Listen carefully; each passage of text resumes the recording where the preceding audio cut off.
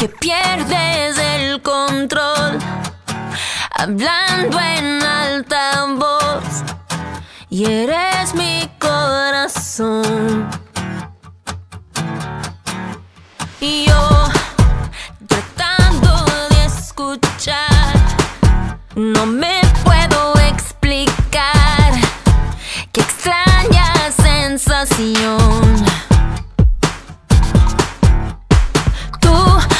it isn't in bed.